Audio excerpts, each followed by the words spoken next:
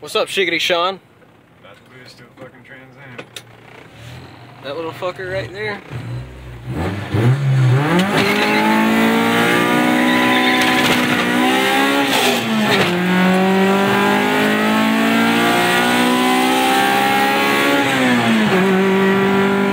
I got a 10 Woo!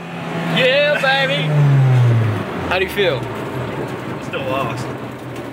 I had a good time, man. Yeah, but you won. You fucking got a faster time. Beat my own time. You went from a 1066 to a 1017. That's almost half a second. It's a good improvement. Car's still a piece of shit.